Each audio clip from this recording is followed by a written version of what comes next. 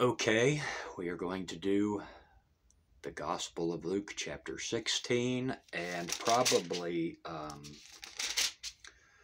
uh, chapter 17 as well. So, Jesus bless you all, and we're going to start right now. Jesus bless you all. He also said to his disciples, There was a certain rich man who had a steward, and an and an accusation was brought to him that this man was wasting his goods. So he called him and said to him, said to him, What is this I hear about you? Give an account of your stewardship, for you can no longer be steward. Then the steward said within himself, What shall I do? For my master is taking the stewardship away from me. I cannot dig. I am ashamed to beg. I have to I have resolved what to do, that when I am put out of the stewardship, they may receive me into their houses. So he called every one of his master's debtors to him, and said to the first, How much do you owe my master? And he said, A hundred measures of oil. So he said to him, Take your bill and sit down quickly and write fifty. Then he said to another, And how much do you owe? And he said, A hundred measures of wheat. And he said to him, Take your bill and write eighty. So the master commended the unjust steward because he had dealt shrewdly. For the sons of this world are more shrewd in their generation than the sons of light. And I say to you, make friends for yourselves by unrighteous mammon, that when you fail, you may receive you, they may receive you into an everlasting home. He who is faithful in what is least is faithful also in much, and he who is unjust in what is least is unjust also in much. Therefore, if you have not been faithful in righteous unrighteous mammon, who will commit to your trust the true riches? And let me see. And if you have not been faithful in what is another man's who will give you what is your own. Um, no servant can serve two masters, for either he will hate one and love the other, or else he will be loyal to one and despise the other. You cannot serve Father Jehovah and money, man and his money. And um, the notations on this. Um, the parable of the dishonored, dishonest steward illustrates the stewardship of wealth Jesus does not approve the steward's fraud, but commends his prudence in using present opportunities for his future welfare. The Christian prudent use of possessions is for the benefit of others. Jesus does not suggest that a person may buy entrance into heaven. He indicates that one's stewardship is a valid test of one's relationship to Father Jehovah. Father Jehovah tests our fitness to receive the true riches of heaven by our use of material possessions. And let us continue. Now the Pharisees, who were lovers of money, also heard these things, and they derided him. And Jesus said to them, You are those who justify yourselves before men, but Father Jehovah knows your hearts. For what is highly esteemed among men is abomin is abomination in the sight of Father Jehovah. Since law and the prophets were until John, the law and the prophets were until John. Since that time, the kingdom of Father Jehovah has been preached, and everyone is pressing into it. Um, and it is easier for heaven and earth to pass away than for one tittle of the law to fail. Um, whoever now the notations on this um, pressing in conflict in the kingdom.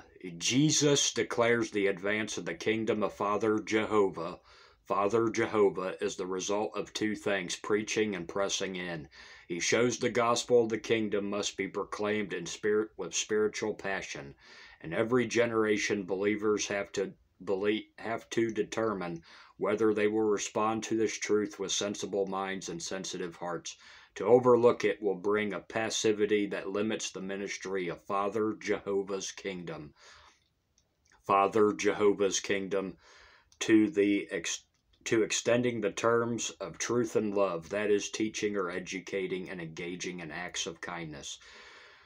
Without question, we must do these things. However, apart from an impassioned pursuit of prayer to Father Jehovah, um, confrontation with the demonic, expectation of the miraculous, and a burning heart for evangelism, the kingdom of Father Jehovah makes little penetration in the world.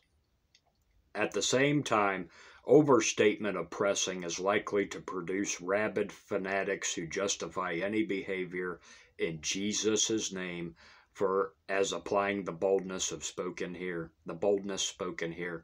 Such travesties in church history as the Crusades and various efforts at politicizing in a quest to produce righteousness in society through earth level rule are extremes we must learn to reject. Pressing in is accomplished first in a prayer warfare to Father Jehovah cu- coupled with a will to surrender one's life and self interest in order to gain Father Jehovah's kingdom goals. Um, and let's continue. Let me see. Okay. Whoever divorces his wife and marries another commits adultery, and whoever marries her who is divorced from her husband commits adultery. Um, and the notation on this tittle. Um, the term means a tiny mark used to distinguish Hebrew alphabet letters. The saying affirms the enduring quality of the law as the expressive will of Father Jehovah. The gospel did not set aside the law, but rather fulfilled it at a higher level. As an example of the law's permanence, Jesus refers to adultery, which was still sinful even if it was justified by civil law. Um, there was a certain rich man uh, who was clothed in purple, and, well, let me go back. Adultery is a bad thing. Um, and uh, when you're supposed to be married to somebody, you are supposed to be totally committed to them. Um, and divorce for any other reason but adultery is, um, well, I've already discussed this before back in Matthew and everything, and um, refer to them older videos about you know divorce and everything. Actually i may put in them same no- the same notes in the description of this video um, but you know um, as far as uh, you know the kingdom of heaven you know father jehovah father jehovah lord jesus christ and the holy spirit you know a just you know true christian man true christian woman uh, if they divorce for any other reason but adultery and marry somebody else, they're committing adultery with that other person, you know. Um, but let's go on. There was a certain rich man who was clothed in purple and fine linen and fared sumptuously every day. But there was a certain beggar named Lazarus, full of sores, who was laid at his gate, desiring to be filled with the crumbs which fell from the rich man's table. Moreover, the dogs came and licked his sores. So it was that the beggar died and was carried by the angels to Abraham's bosom. Bosom. The rich man also died and was buried, and being in the torments of hell, he lifted up his eyes and saw Abraham far off, and Lazarus in his bosom. Jesus. Then he Jesus. Then he cried and said, Father Abraham, have mercy on me and send Lazarus that he may dip the tip of his finger in water and cool my tongue, for I am tormented in this flame. But Abraham said, Son, remember that in your lifetime you received your good things, and likewise Lazarus, e- Lazarus evil things. But now he is comforted, and you are tormented. And besides all this, between us and you there is a great gulf fixed, so that those who want to pass from here to you cannot, nor can those from here pass to us. Then he said, I beg you, therefore, Father, that you would send him to my father's house, for I have five brothers, that he may testify to them, lest they also come to this place of torment. Abraham said to him, They have Moses and the prophets, let them hear them. And he said, No, Father Abraham, but if one goes to them from the dead, they will repent. But he said to them, If they do not hear Moses and the prophets, neither will they per be persuaded through one rise from the dead. Um, and the notations on um, all of this. Um, Um, the rich man is sometimes called Dives, Latin for a man of wealth. To a Jew, Abraham's bosom suggests the honored place in paradise uh, with Father Jehovah, Lord Jesus Christ, and the Holy Spirit. Um, that is, the beggar received a special welcome in heaven and was seated beside Abraham. Also, the term may have been used to describe that segment of hell reserved for the righteous until following Jesus' resurrection. Hades is the abode of the dead. The description leaves no doubt that the rich man was in a place of eternal punishment. Hey, Jesus. Uh, Wealth does not automatically condemn one to hell, nor does poverty in this lifetime guarantee eternal joy. One's destiny depends on one's relationship to Father Jehovah, which is often reflected in the attitude toward uh, material possessions. The Pharisees were constantly demanding, oh,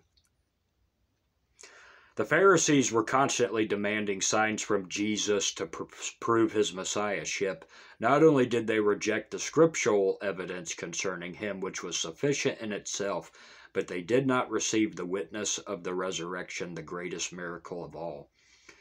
Um, and that concerned verses 29 through 31, where uh, Abraham said to Lazarus, uh, you know, they. Uh, if they won't listen to Mo- Moses and the prophets, they won't listen to one who, you know, comes, um, you know, resurrected from the dead, you know. And uh, I'm going to stop right there. And then we are going to go into chapter 17. Uh, Jesus bless you all. And I also hope that all of you had a very good Easter. Um, I had a very good one with my family. Uh, Jesus bless you all.